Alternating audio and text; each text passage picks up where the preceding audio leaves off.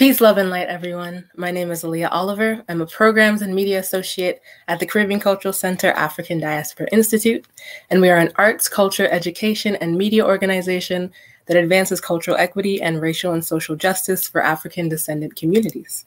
On behalf of the center, I want to welcome you all to Sankofa Talks, a series of intergenerational talks between artists, activists, and educators of the African diaspora. Translated from the Twi language of the Akan people of Ghana, West Africa, Sankofa means to go back and get it. And it speaks to the importance of gathering up those lessons from our past and using them in the creation of our future. So for Black August, where we honor the work of our revolutionaries and educate ourselves on the histories of our resistance as a people, these Sankofa talks will highlight the culture bearers that continue in the work of our ancestors and agitate for our liberation as a people in all spheres of access, identity, and belonging. And in order to keep things interesting, CCCADI has selected participants that have never met before. So not only is this the first time they're getting to know one another, but CCCADI has also crafted questions for them to answer and to get to know one another. So without further ado, enjoy tonight's Sankofa Talk, Navigating Activism as Black Women.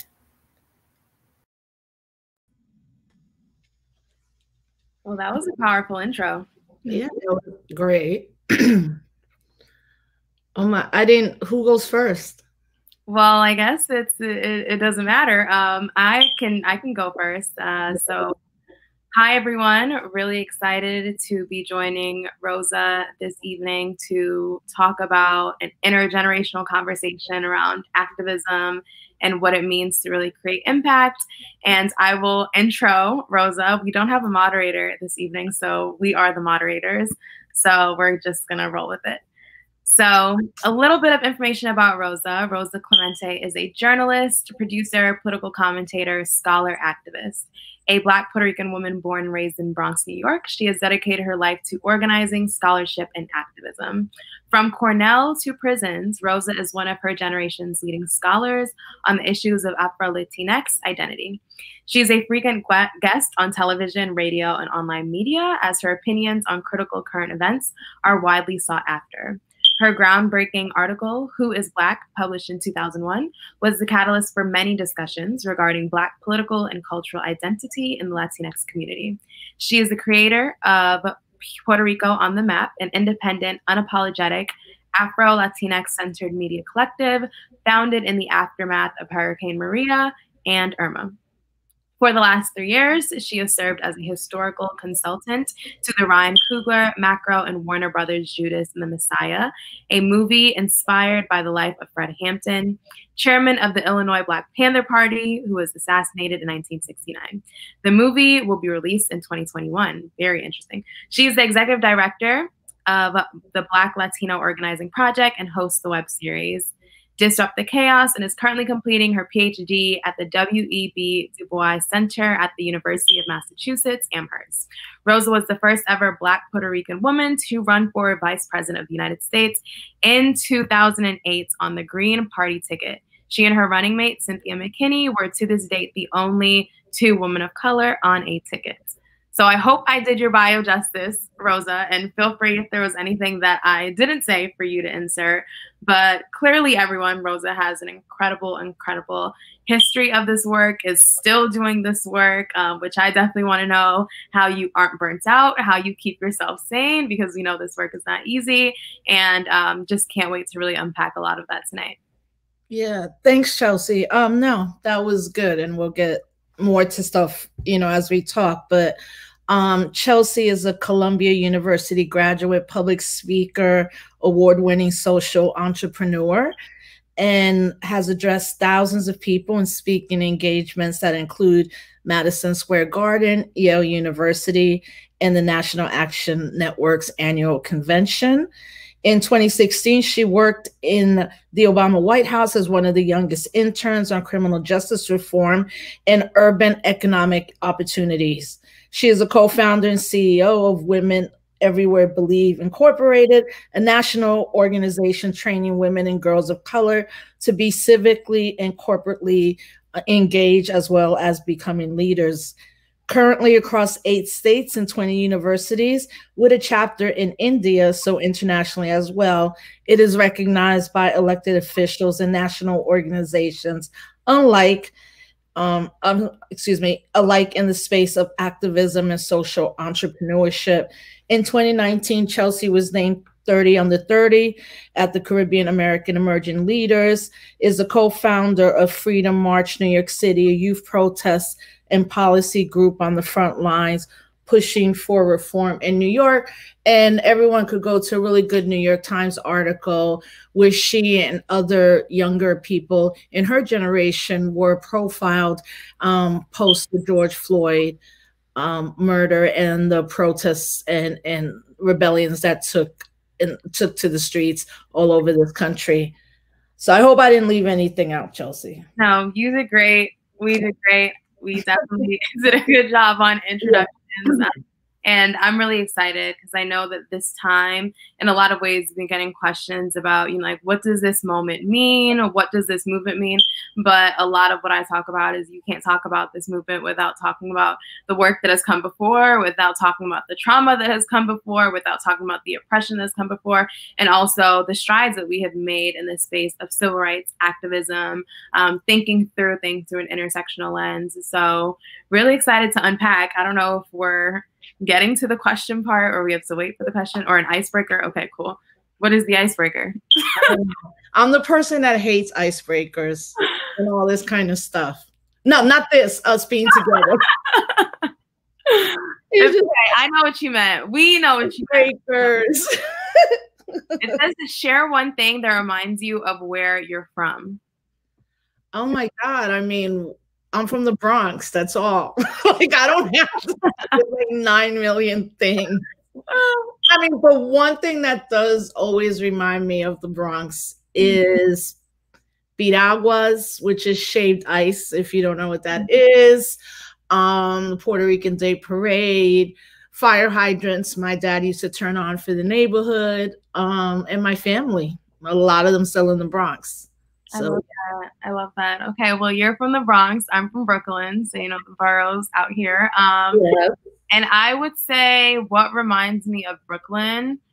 So I actually grew up in Flatbush in Brooklyn. If anybody knows Flatbush, it is the Caribbean kind of like hub in Brooklyn where like everyone who's either like first generation American or like recently came to like New York, you know, a lot of them um, reside in Flatbush, particularly like um, the Jamaican community. So I would definitely say like Golden Krust.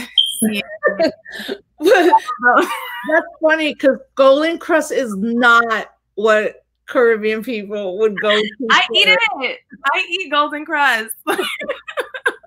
you know what's funny? The patty, like just grab the patty and go. You know, like um, no, that's true. That's true. I, I, mean, my husband's from Flatbush, and that's where we met when I was living on um Clarkson. Really? Oh, that's literally that's like right near yeah. where I grew up. That's great. Yeah. So of course Golden Krust, but we also have this spot on Fenimore and Flatbush that unless you know, I don't even know what the name of it is.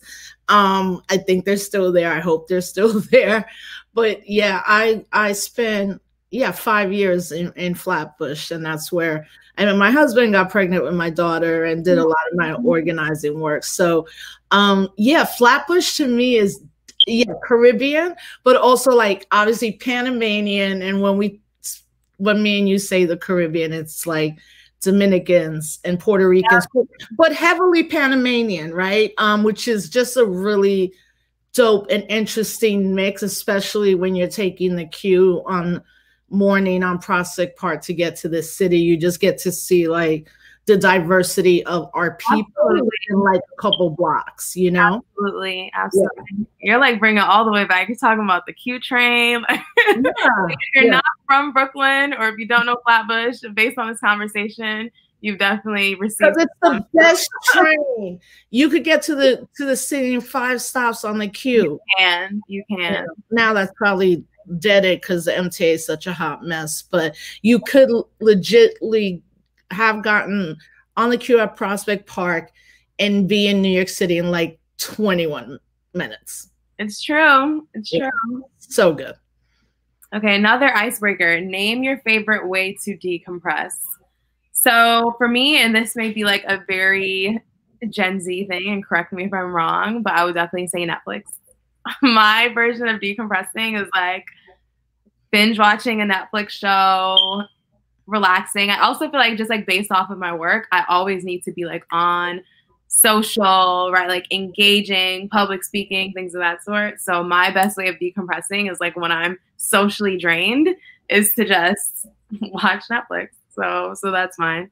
That's mine too. I love I oh, love television and movies, but I'm very about apocalyptic ones. So like me too.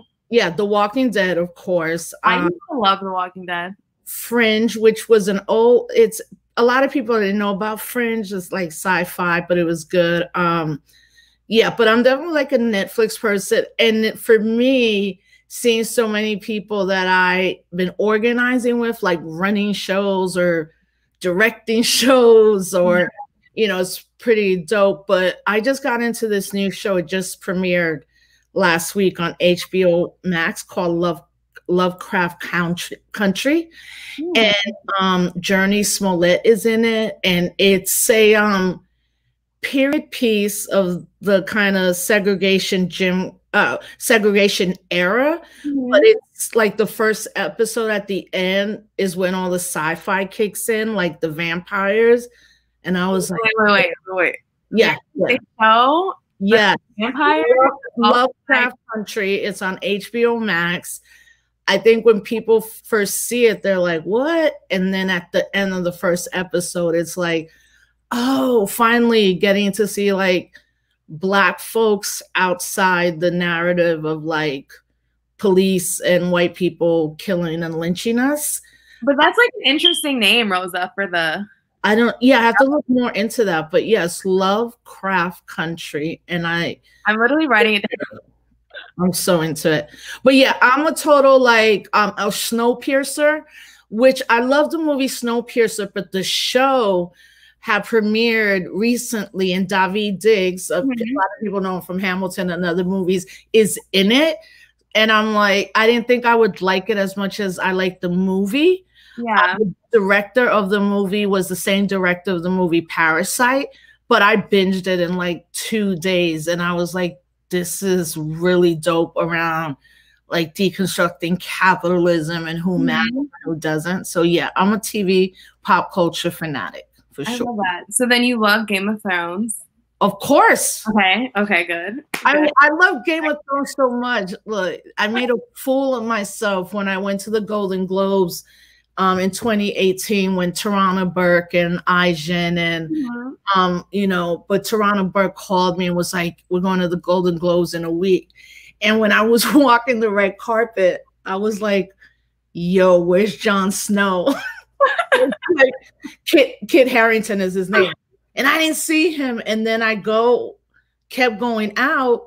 My other sisters were like, I'm tired. I'm like, I'm not going to sleep, period. We're like partying at the Golden Globes. And as I'm leaving the last party, he's there. And he goes, Oh, you're the one about Puerto Rico. And I was like, Can I have a picture with you? it was like 3 30 morning, LA. He said no at first, and he said, Okay and I was like, oh my God, Jon Snow. But Game of Thrones, absolutely. I love it.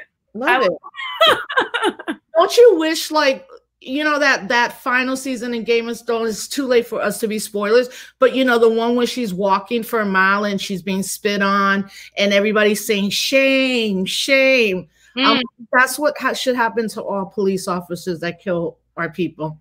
They should have to do their own part while we throw stuff at them and say shame. oh, well, that definitely transitions us into our Sankofa talks, um, critical conversations about everything that's that's happening. And see, we can't even escape. That's the reality of being black in America, of being, you know, um, from a community of color in America and thinking through this lens, we can't even talk about Game of Thrones without connecting it to an issue that's happening right exactly. in the world. Um, so yeah, that's how we escape. But there's there's a lot that we can't escape from. Name three things you are fighting for in your fight for Black liberation. Oh, I love this. Um, That's an interesting question. Um, when I think about three things specifically that I'm fighting for, do you want to take this one first, Rosa? Yeah. Okay. Rosa's like, no. okay. So for me, I would say I'm fighting for Black youth future. And what I mean by that is as a 23 year old who feels in a lot of ways that we are fighting the same fights that our ancestors and our grandparents, you know, have fought. I want to work in in my lifetime to see how we can change, you know, those conversations and those fights and and continue to of course build on on the work and the progress within this country um, so that our kids don't have to be fighting this fight 30, 50 years from now, right? Um, and then I would say my second thing that I'm fighting for is the sustainability of Black voices on the front lines who are doing this work, Black young people who are doing this work. Um, I think that this work is draining, it's tiring, and a lot of people um, are experiencing housing instability. A lot of people are experiencing um, job insecurity because we're in the middle of a pandemic, but also they are forfeiting, you know, what it looks like to build a sustainable plan for themselves and putting first, right, the people in the community in the work. And so, how can I, through Freedom March NYC and other avenues, really amplify their voices um, and create spaces for like sustainable activism? And then the third thing that I definitely say that I'm fighting for is um, our country. I would say that I'm fighting for our country and a delayed promise because we know that we are living in a country that's um, principles were really founded on life, liberty, the pursuit of happiness, justice, equality for all. And yet, those are some principles that we have not seen manifested within our lifetime. And truth be told, hasn't been manifested in over 400 years.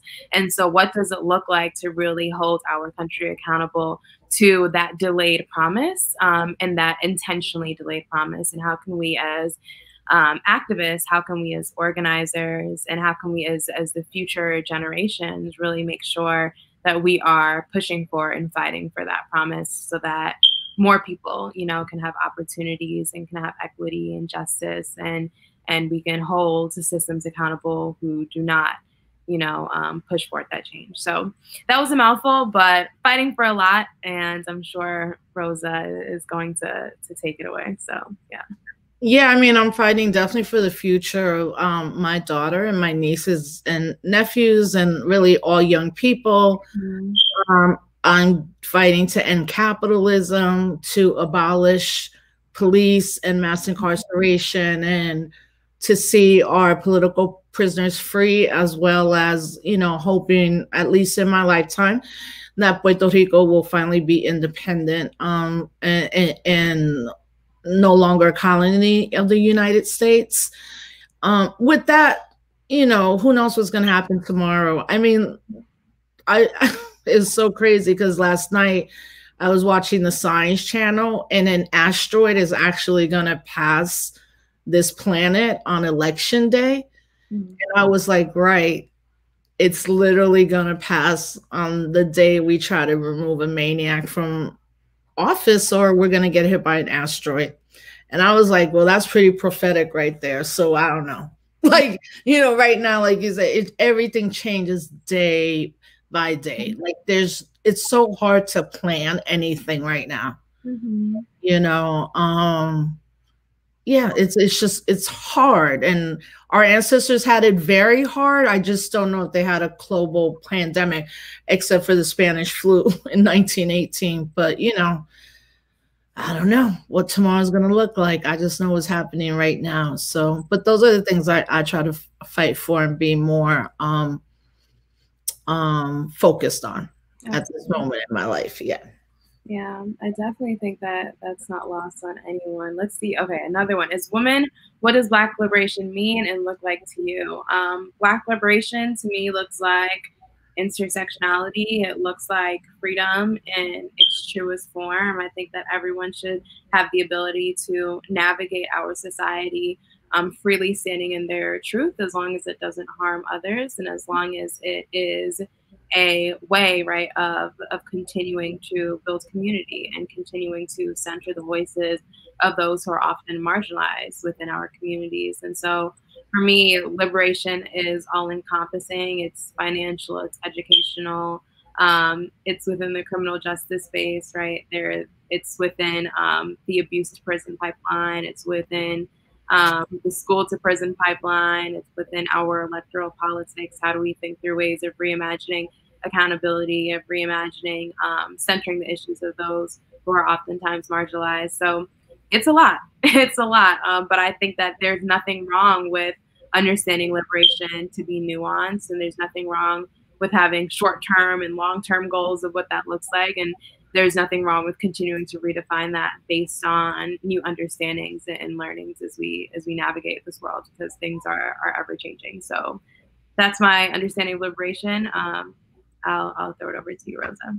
Yeah, I mean, for me, it's the same. I mean, what we many people have said lately is like when black people are free we'll all be free and that really means liberation from all the systemic things that we are facing and that is obviously changing in in these times but you know um i also think it's super important that people of african descent in this country really begin to unite over at least this goal of liberation um but also i'm very much about holding people accountable mm-hmm. um, which doesn't mean i can't be held accountable either. I, I mean, I think what it means for me is when I choose to do something, I literally look in the mirror and I ask, why am I doing this and who am I doing this for? You know? Um, and I also think part of Black liberation is just at one point not caring what white people think or do anymore. Like I, I can't even spend my time like unless I'm in a classroom teaching, you know, and in a multiracial space as a professor, like I am not the one for white people to be calling me about anything anymore, including some people in my family. I'm like, I don't have time for this. Like you could Google this and and I don't have time to explain like why black people should be free at this point. Um, so I think for me that has become pretty critical in at least the last five years for me, where I just am like, it's a wrap. I gotta worry about my people. Y'all gonna do what y'all gonna do, and I can't really worry too much about that unless we're out there fighting together against like white supremacy. So I think that's a big thing for me lately. Yeah. Yeah. What's a misconception your generation has about mine, and why do you think that is? Okay, what is a misconception, Rosa, that your generation has about mine, and why do you think that is? Yeah, I mean, I think a misconception is that you are all not politically educated, conscious, or care about more than yourself. Mm. Um, I am a public speaker, so up until now, I've been on the road for almost 10 years and always speaking at colleges or youth centers, um, community events with young people. So I have never been one to be like, oh, all young people are this, or all young people are whack, or young people don't do anything. Mm-hmm. Um, because when I was your age, I had elders already like bringing me into the movement. So I think that is the biggest con- misconception that you are all not engaged because of screens or social media. Um, and I always see the opposite of that. I see that when younger people kind of get it, they just hit the ground running, you know? So, yeah. Yeah. So, what do you think a misconception is about my generation? So, my generation being, I guess we were what generation X? I don't know. I'm 48, whatever demographic term for that, or the hip hop generation. What's a misconception that your generation has about my generation. That's really interesting because I think that I definitely agree in a lot of ways that there may be misconceptions, but I don't necessarily feed into them. But I would say perhaps like a generational gap or divide, or I don't even know, in um, what it looks like to movement build. Um, what does it look like? Like I think one of the biggest things that have changed a lot, and correct me if I'm wrong, is around like respectability politics. You know, like we know during the yeah. first waves of the civil rights movement, right? Who were the leaders? How were they presented as? Um, you know, we know that before Rosa Parks sat on the bus, there was another young black woman who was going who was who was actually boycotting the bus and she became pregnant and because of that you know she was kind of erased out of the narrative and so i think in that same way as we think of like our generation now we're like more intersectional we're like more unapologetic and perhaps like less feeding into like these respectability politics like standards that have existed in previous generations. Um so i don't i don't know. That's my thoughts on it. Respectability politics like that's maybe like the biggest generational difference but yeah i think the intersectionality piece is like critically important. Mm-hmm. um, but having gone to college in the 90s you know we in the 90s um, because of also this kind of golden age of hip hop, as mm-hmm. well as a movement towards African centric education, and and especially in colleges. Um, many of us were involved in our Black student unions or Latino student unions. And in the 90s, we were told by a previous generation that you can't protest in that way, but we did. So for me, I'm fascinated because when I was in college in the 90s, we always used the word white supremacy. Mm-hmm. Um, and that kind of stuff could have got you suspended or kicked out of a class mm-hmm. for just saying white supremacy. So now, like, even hearing white people be like, yes, white supremacy is a pop, it's it's really weird, weird in a good way.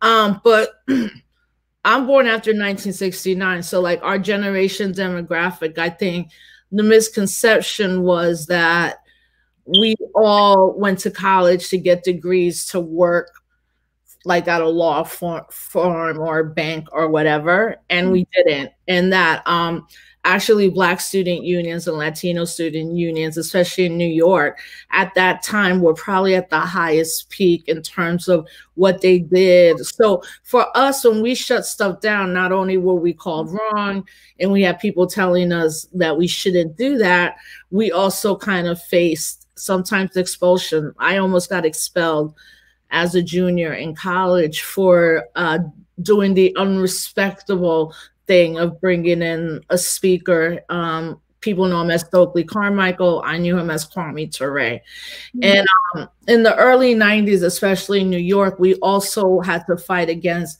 always be called anti Semitic.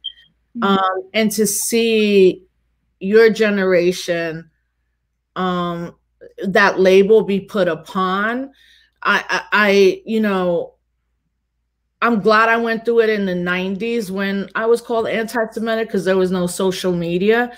Because now being labeled that literally destroys people's lives, right? And um, is also uh, people come after you. And I've seen two of my comrades, Linda Sarsour and Marc Lamont Hill, really feel the brunt of being called anti Semitic and not only face death threats, but like, a lot of things have been taken away from them.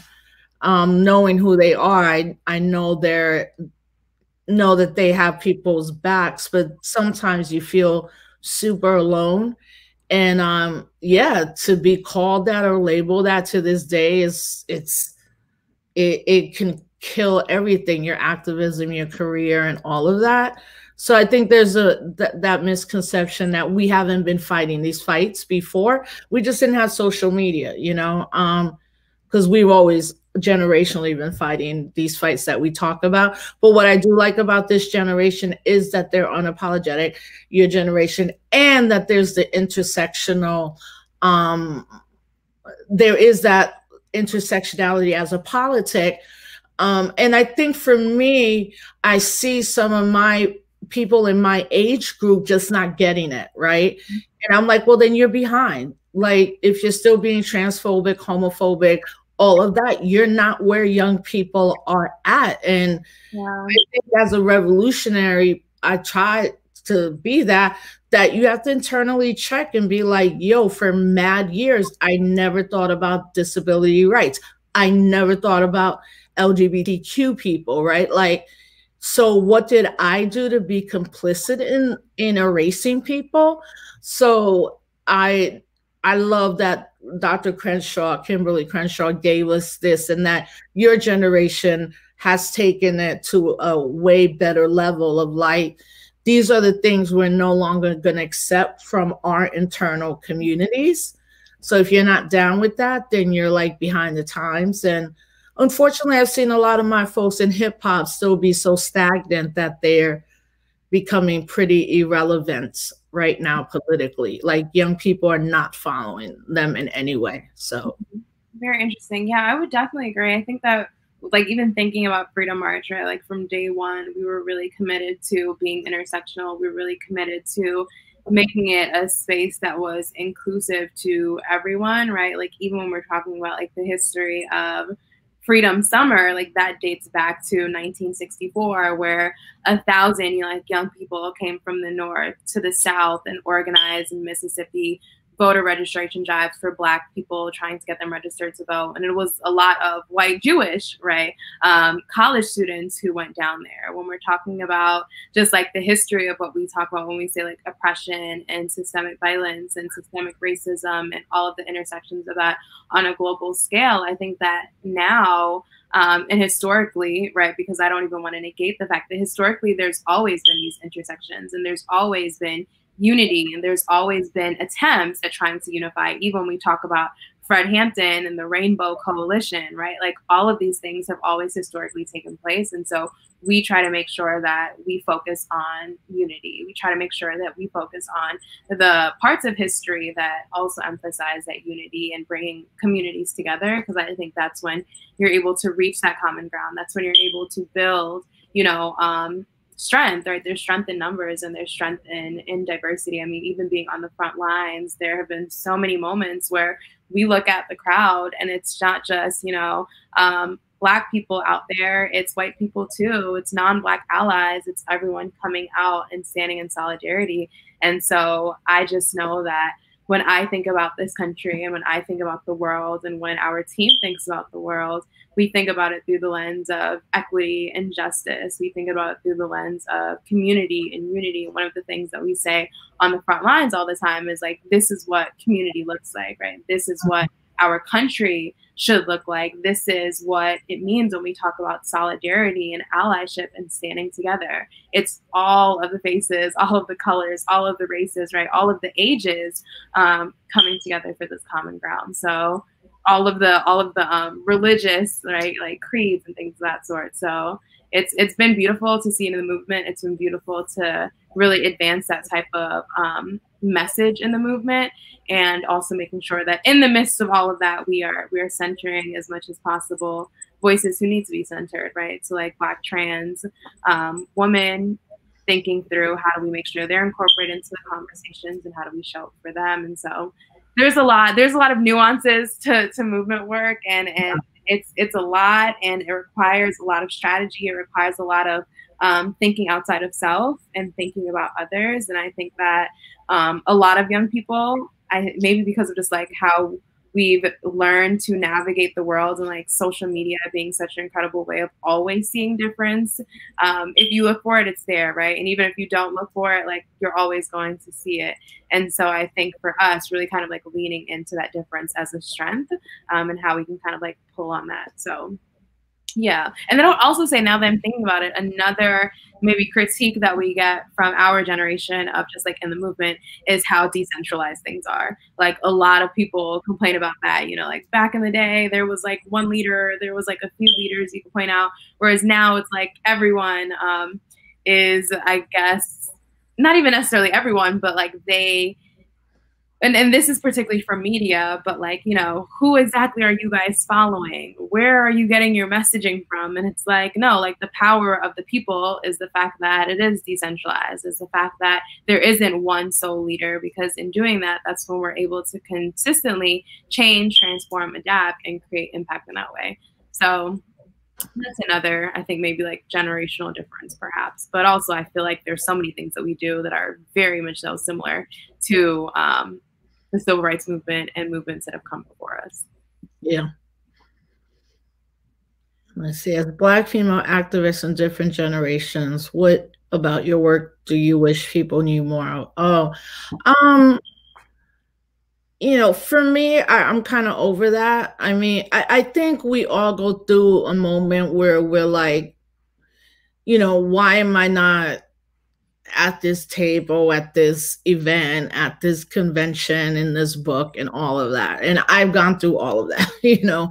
Um, and and for me, actually, last week was interesting because, or the week before, when Kamala Harris was picked, I had so many people hitting me up like, no, they keep saying she's the first black woman or black Asian woman you know, on a major party ticket. And I had to be like, no, she is on a major party ticket. The major parties, the Democrats and Republicans. Mm-hmm. I I ran as a third party candidate, mm-hmm. you know, um, and somebody's like, doesn't this make you angry? And I'm like, no, not anymore. Like it made me angry for a long time. And then just um right after uh 45 was elected, I got to go through this great retreat with really some powerful elders and and kind of I was just like you lot you got to let that go. Uh, you know, because as a historian, I know, you know, history doesn't lie. It's not like we're not in the books. It's not like you can't see what me and Cynthia did in 2008. Uh, it, I think it was more people being angry for me, you know, and I'm like, I went through this in 2008 when all y'all were laughing at me. Now you want to like, you know, uplift the fact that I ran. So, you know, I, I think again, you know, being a historian, I'm always more when I read anything, I think about who's not in the book. And then I go find out, you know, well, who was there and who was at this convention or who made that? And I think part of that is now there's high visibility in everything people do, and that people mistake power with visibility and visibility with power. Mm-hmm. Uh, you know, and um, that's just not what I do anymore or or what I worry about you know, I'm like, if I want to tell my story, I could tell my story. I don't really have to wait for anybody to give me a deal or, you know, any space. And social media or the democratization of technology allows me for that. So I mm-hmm. kind of don't feel what the people knew more of. Yeah. I, am pretty open, you know. I, sometimes I'm like, people probably know too much of me anyway. Um, but that's how I've kind of always been pretty straightforward with anything in my life, um, especially publicly, because I know that I get my strength when somebody tells their story of something that I can connect to or that I'm going through. Uh, and I think that as Black women or, you know, African descendant women, like I still think our narrative is just not truly told. Like not everybody's visible. So who are all these other stories of women, black and brown women that we're not uplifting, right? Like working women and all of that kind of stuff. So yeah. Interesting. Yeah. Okay. So black from different reasons. What about your work do you wish people knew more of? Um, I would definitely say that since these protests have emerged, a lot of people have done profiles on young organizers who've been um, leading the movement with the nonviolent protests. And I think that that's great and it's important. But I would also say that beyond just us as nonviolent protesters were also people with um, stories, with with a history even before all of this. Uh, especially those of us who've been doing social impact work for years. Like I've been doing public speaking, I've been doing um, social justice work, I've been doing work with women and girls of color. Before this pandemic, we were actually on tour um, for Women's History Month with different schools in the Department of Education doing leadership workshops for young girls, right? So before all of this, there there was more to it, and there was a passion for doing this work. And so, this work isn't a moment; it's a part of a long trajectory of um, really working towards changing history, but not even changing history. I think changing lives, right? Because like we we know, history is one element of it, you know, and the books always tell the story that they're going to tell, um, no matter how much we push on it but I think that the lives that you touch are, are really the most powerful um, opportunities to create change. And so that's what I enjoy doing. That's what I love to do. I love strategy. I love sustainability, and I love creating impact in in ways that that allow us to really reimagine things. So, all of that to say, I wish maybe like more people knew that. But but aside from that, I'm I'm pretty transparent when it comes to my work. So not much outside of that. Yeah. Show and tell. Okay, cool. I'm waiting for us to be shown. Okay, cool. This is mine. So that's you, yeah. So was Rosa supposed to take a guess at what this is, and then I explain it? Well, I guess maybe we'll freestyle. So maybe Rosa take a guess at why this is significant to me, and then I'll tell you. Wait, um, I have to tell you why this is important, or like maybe just guess why it's significant. Because you all have gas masks. Oh, well, no. Okay. It's well, pretty powerful. It's like we're in the streets and we gotta fucking wear masks because we're in two pandemics right now. I love it. oh, okay, signing off. No, okay. So the reason why it's significant is because this was our first night of protesting. Actually, no, this this is our first night of a Freedom March NYC protest. So I actually had gone the night before, and based on what I saw the night before, that's why we came back out the next day a lot more organized and coordinated. So this is actually May 31st. It was the oh. anniversary of the bombing of Black Wall Street. Yeah. And we organized the first Freedom March NYC protest. And that was the largest nonviolent protest in New York City to take place that night. And that was the night when people said that the KKK was coming to town. There were still police choppers in the air the narrative around the looting and the rioting was still happening um, and was taking place throughout different parts of the city. And even in the midst of all that, we still came out anyways, and we were compelled to be on the front lines. And that was literally the night that Freedom March NYC was formed. And that's me next to my co-founder and um, Nia White, our lead organizer. And to all the way to the right is Fatima Berry, who is our head of education. So it's definitely a moment of time. And since then, like this picture has been everywhere. It's been like in a Forbes article. Yeah, I've seen it a lot. Yeah. Designs. Um, so yeah, it's been everywhere. So that's why I love this picture. And we actually didn't even want to take this picture. That's the crazy thing. Like there was a photographer that was there and was like, "Let me take a picture of you all." And we're like, "Oh, we're so tired. No, like we don't want to." And then we were like, plus, you know, at the time we didn't really trust anybody out there, you know, who you don't, who you didn't come with, you know, you're kind of like, you know, um, skeptical. So it's like, oh, you want a picture of us? What are you going to do with this picture? Like, who are you? You know, um, but we took it anyways. He sent it to us, and the rest is history. Yeah, that's a great picture. I have seen it though. Yeah. Yeah. Okay, let's see yours. You're showing. Let's see.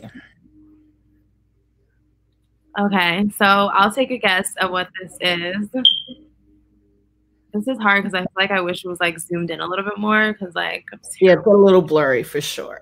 Um. Okay, so I think that it is. funny. I think that it is significant because you are clearly standing on stage, um, a large platform. I'm assuming, or a large audience, and putting up your this, um, which obviously is a is a symbol of the movement of Black Power. And I don't really know where you are, but, but you're about to tell us. So yeah, but this was yeah. don't. So this was in 2015 in, in Montreal, Canada. We were there for a weekend. Um, they call it African Diasporic Weekend. You know, a lot of people don't know how many, um, particularly Caribbean people, they are in in Canada. Mm-hmm. And uh, people don't realize how close we are to the border. Like in Albany, I get to Canada in four hours. Um, but that's my daughter. Um, so she wanted to come up and she said, I want to come and close out your speech with the Assata chant and Black Lives Matter. And that's my daughter um, chanting, it is our, you know, duty to fight for freedom and just there doing her thing yeah, that was in 2015. And then she, for a couple years, took a break and was like, I don't want anything to do with anything because everybody, mm-hmm. you know, doesn't recognize me just as myself. I'm always your daughter. And then, like, recently, she's become really back engaged with the youth here, her crew in Albany, you know. So I didn't even remember this because someone sent it to me like a year later. And I was like, oh my God, that's like my seed. Because and I chose this too because most people don't realize that most of us don't grow up in movement households. Like mm-hmm. I know generations of movement people where the dad was an, a freedom fighter and the mom and then the daughter and now they're that child but i didn't grow up in a movement household but now my daughter has grown up in a movement household so yeah. that's alicia yeah doing her thing and definitely relevant to the whole intergenerational uh, aspect of this evening. So I yes. that. Yeah. And I've actually been called a bad mother, you know, for having her out. Um, a lot of us who have children her age, like, mm-hmm. how can you have them out and the police and tear gas and everything? It's like, you know, I always say because they kill seven and 12 year olds. So, like, mm-hmm. what would make my daughter different if a cop saw her as a threat, you know? Um, so I've often been like, you know, I never judge anybody to take your kid or don't, but it's interesting that to this day, people see that picture and be like, I can't believe you had your daughter out there. And I'm like, I don't make her do anything she doesn't want to do. Like she does it. She, or sometimes she'll be like, don't come to the protest because everybody's going to want to talk to you. And I'm trying to run this. And I'll be like, all right, you know, but um, a lot of us as as mothers, like they never say the fathers are bad fathers for letting their kids be in protest. Mm-hmm. You know, whether the father or the other partners in the household, it's always the mom that gets like, "You're a bad mother. What's wrong with you? What are you doing?" Keep her innocent. I'm like, what innocence are you talking about in America? Mm-hmm. Like, I think I would be doing a disservice to my daughter if I was not telling her the truth and raising her up in a movement family where she has blood family, but she also has like movement family that have seen her grow up too. Hmm. Absolutely. Yeah. Okay, personal questions. Let's see. We're gonna have to we're gonna have to do the lightning round on these ones. Okay. Okay, we're ready for personal questions. To Chelsea, what do you think will happen after the election? Ooh, that's a great question. I think that after the election, we will continue to still um, fight in a lot of ways what we're currently fighting now, right? I don't think that, and this is also a misconception. Like when we're talking about electoral politics and the the importance of voting, it's not with the understanding that on November 3rd, depending on who's in office, whether it's the Democratic or Republican Party. Um, and if we have a change, right, in administration, that somehow that's going to fix everything because it's not. So for me, it's continuing to do the work after the elections. It's continuing to show up and hold people accountable. It's continuing to pay attention to local elections as well, because mm-hmm. even you know, like after the election, the election that we're talking about is, is the presidential election, but we know that's not the be all end all election for so many of us when we're talking about who directly makes decisions on who is the police commissioner on who is the appointed officials who make decisions about budgets and community boards and police department budgets and allocation of education resources um, that happens on local level. And so for me it's like after the elections is continuing the conversation and continue the momentum and educating people as much as possible on how they can play active roles in their communities to do the work.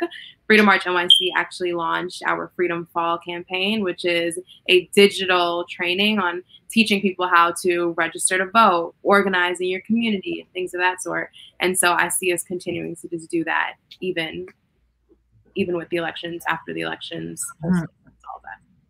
Yeah. Yeah. Okay. Next question. We are ready.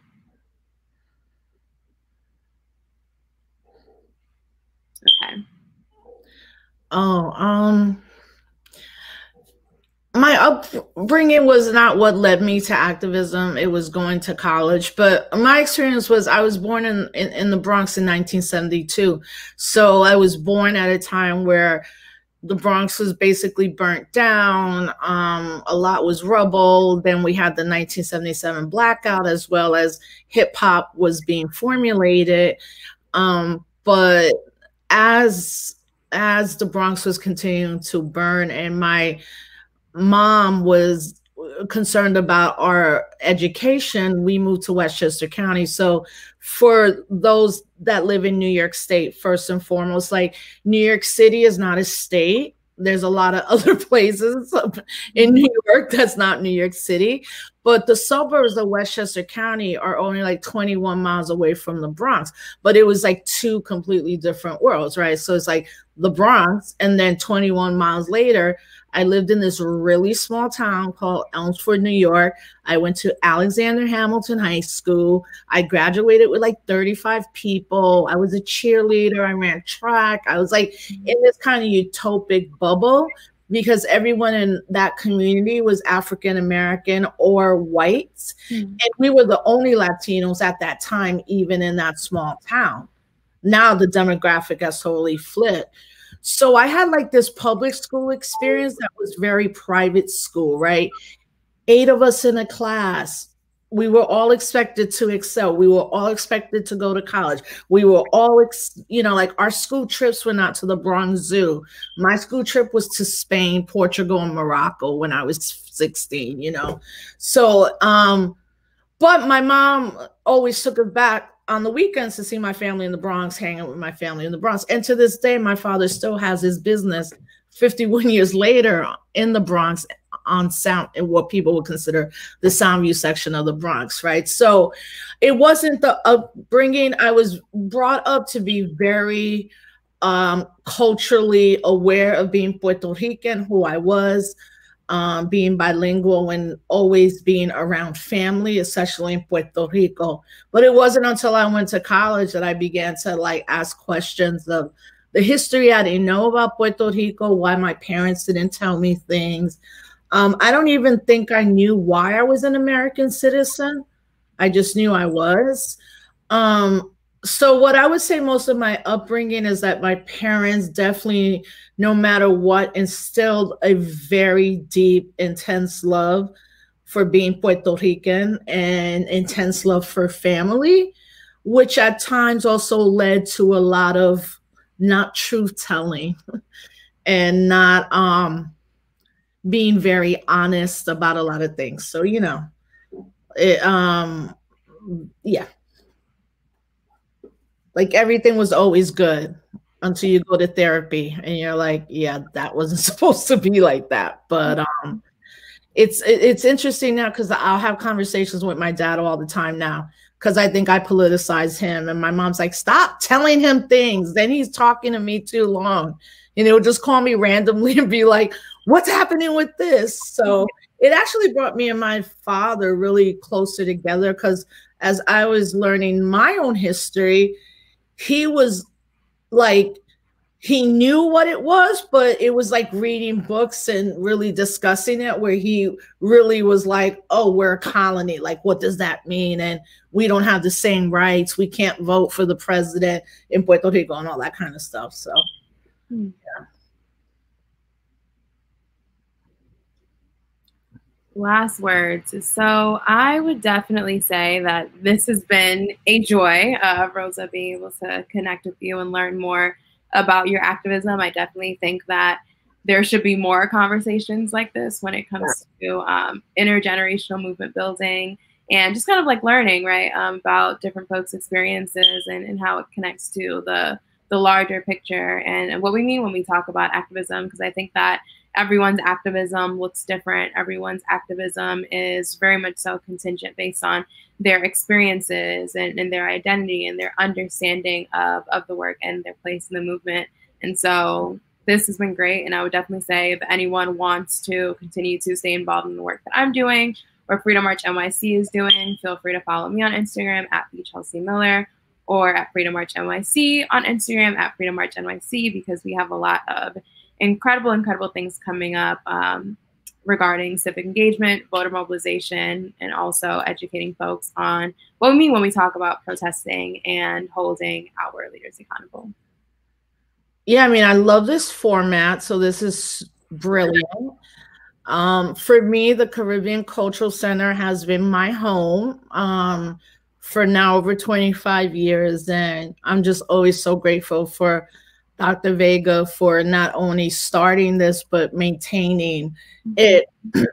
for folks who are watching, um, Dr. Vega and one other woman are the only two Black or African descendant um, women that actually have institutions that are brick and mortar and have been around for over 40 or 50 years. So, what for me, anytime I could be, you know, part of any of the work of the Caribbean Cultural Center, um, African Diaspora Institute, it's always yes and please because it like I feel no one understands me more than everybody who is um, at the center, whether it's the board or Melody, who's the executive director, and now like Mikey and Kat, and just seeing like the the work that they're doing, Leah, and all that, all of that. So, yeah, I mean, last words, you know, there's never any last words. Like, oh, I wake up tomorrow, but um, I think that we have to come to an understanding that this work requires a lot of sacrifice and um, there will be a lot of down moments you know and because of our age difference it's like you're on this high we're all on this high at a moment and then something like washes it away because something we didn't expect to happen happens or the people we thought had our back didn't or like who was actually your comrade or who doesn't want to see you succeed like all those things are real in activism and organizing like i've seen the pettiest stuff from organizers and activists but i've also seen the most revolutionary things from mm-hmm. organizers and activists and i feel at this time my role is to not only see what young people like you are doing, but also be able to be like, you might want to do that a little different or think about that more. And it takes me to those moments with my elders when I was like, no, I know everything. You're completely wrong. And then like 10 years later, I'm like, I was so right.